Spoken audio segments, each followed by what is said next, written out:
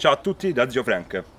Oggi ci hanno regalato questo sabato di sole a novembre e fa anche calduccio, quindi volevo proporre un video che sicuramente interesserà molti. Praticamente parliamo di difesa abitativa o più o meno uno sparo in casa su dei muri tradizionali l'effetto che possono avere i calibri da noi maggiormente utilizzati o comunque che il maggior numero di persone hanno a casa. Questo è un muro in pannelli Siporex, mentre questo è un muro in gesso che dentro praticamente è vuoto.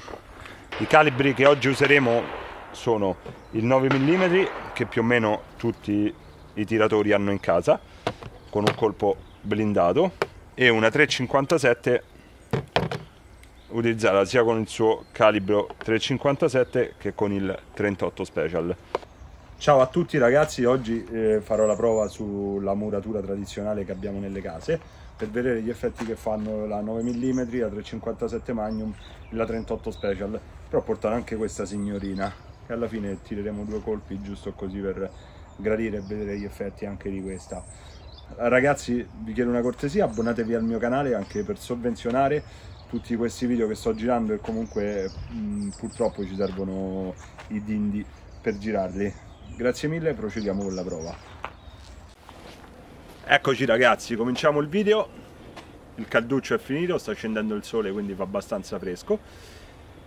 Allora, eh, cominciamo dalla 9 mm. Mi sono tenuto ad una distanza di circa 8 metri, 8 metri dal bersaglio, in quanto le camere spesso sono anche molto più piccole, quindi vediamo che reazione hanno i nostri tramezzi, anche se so che questa non è proprio veritiera come prova, in quanto il tramezzo per intero fa una forza diversa sicuramente da una piccola porzione. Quindi partiamo con la 9 mm e vediamo cosa è in grado di, di fare comunque su un uh, muro di casa.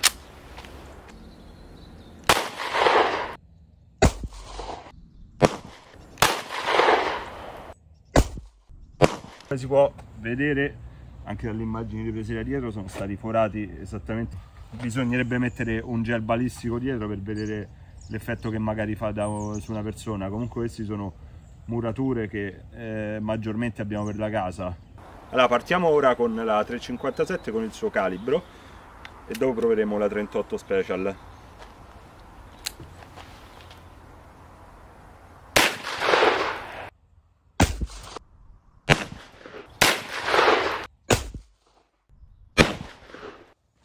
357 Magnum.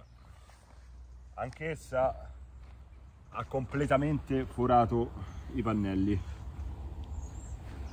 Andiamo con una 38 special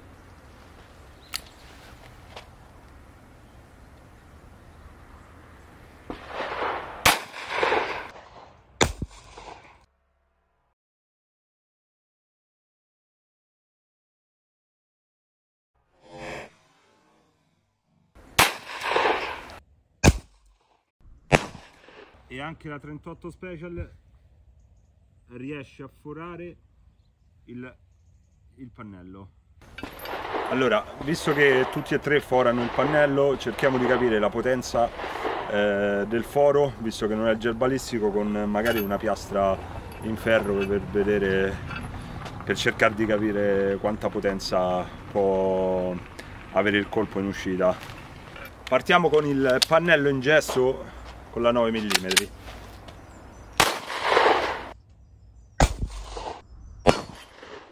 come potete vedere questo è il risultato. Ecco la palla da 9 mm risulta molto deformata al contatto con eh, la piastra.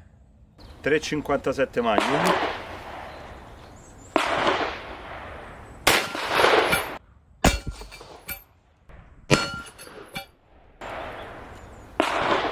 la piastra è caduta.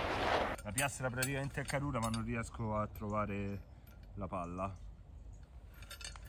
è caduta la piastra ma la palla non sono riuscito a trovarla quella del 57 ora andiamo a provare la 38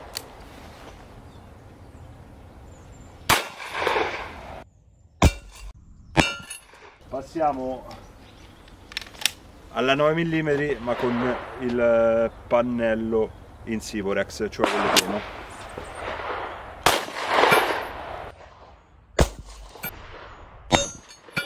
Ok, ecco i pezzi della palla da 9 mm che a quanto pare sembra molto meno efficace, però ha avuto molta meno resistenza in quanto stavolta è riuscito a far cadere la piastra.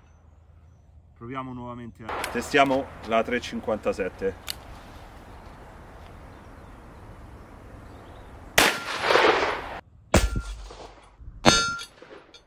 Niente, la palla schizza fuori. Andiamo ora con la 38 Special.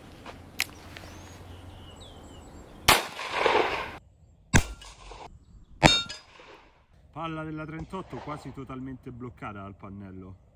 Questa dovrebbe essere la palla della 38 quasi totalmente bloccata. Proviamo due colpi con la 38 perché dovrebbe essersi bloccata proprio la palla.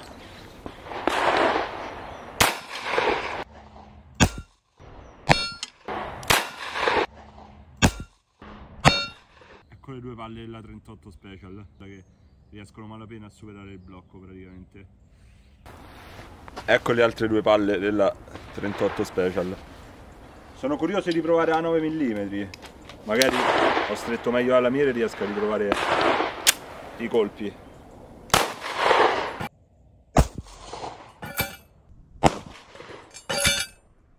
No niente a 9 mm praticamente si distrugge la palla da 9 mm riproviamo la 357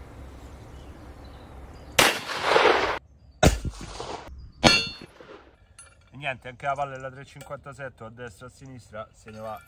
Non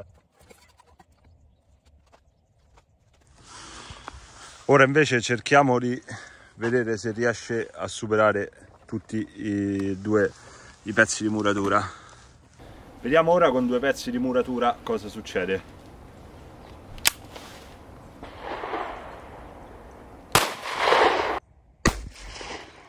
La palla da 9 comunque riesce a forare tutti e due i tramezzi anche se poi non ritrovo effettivamente la palla ma il tramezzo è bucato anche dalla parte opposta. Proviamo la 357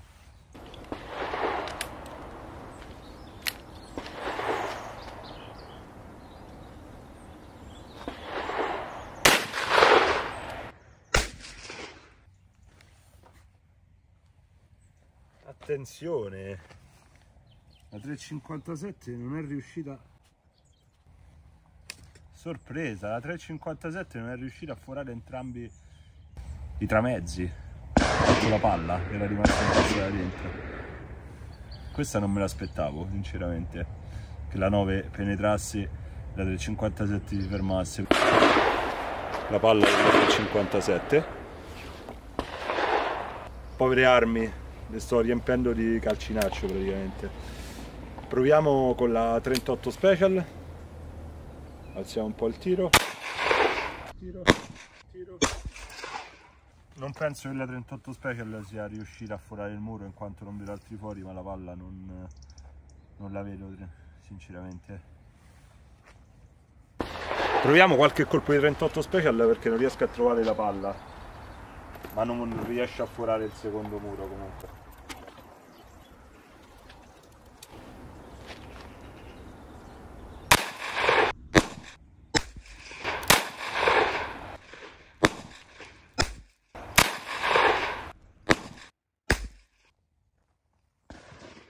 praticamente fa svincolare la palla. Qualcosa è entrato. No. Vieni a vedere la palla, una delle palle si è bloccata addirittura in mezzo al tramezzo non, non ho avuto la forza di uscire.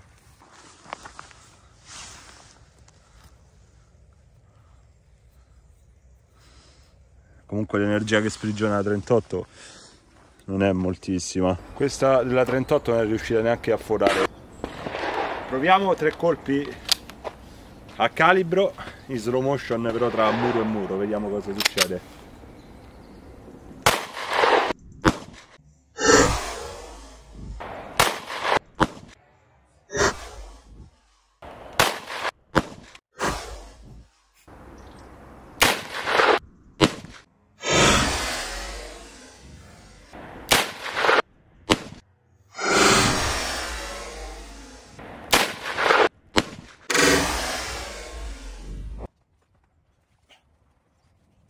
un'altra palla del 357 e ecco le palle. Guardate. Comunque due tramezzi fermano quasi tutto. Tre colpi in 38 special. Poi passiamo a una cannonata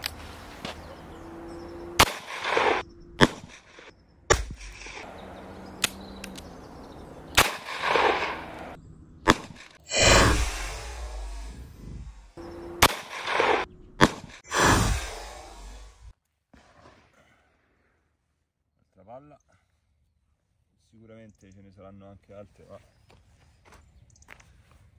in conclusione il miglior calibro è sicuramente il 38 special da usare dentro casa. Per finire il quadro completo tiriamogli due colpi di 500 Smith Wesson visto che i tramezzi ancora sono in piedi